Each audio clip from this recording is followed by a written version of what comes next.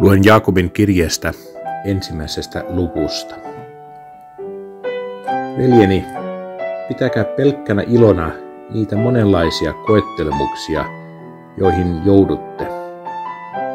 Tehän tiedätte, että kun uskonne selviytyy koetuksesta, tämä kasvattaa teissä kestävyyttä.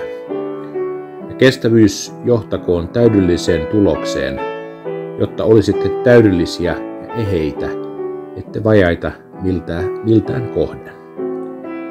Jos kuitenkin joltakulta teistä puuttuu viisautta, pyytäköön sitä Jumalalta.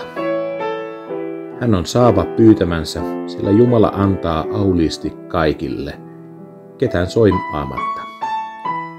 Mutta pyytäköön uskossa, lainkaan epäilemättä. Joka epäilee, on kuin meren aalto, jota tuuli ajaa sinne tänne. Rukolkaamme. Jumala Isämme, tue meitä, kun avuttomina hapuilemme sinua kohti ja olemme vähällä uupua kiusauksiin ja koettelemuksiin. Auta meitä kestämään rukouksessa ja uskomaan sanasi lupauksiin.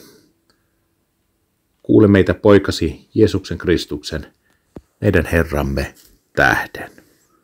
Amen. Paastokalenteri haastaa meitä tänään pohtimaan siitä, että mikä on hyvä sinun elämässä juuri tällä hetkellä. Toivotaan sinulle oikein hyvää paaston matkaa.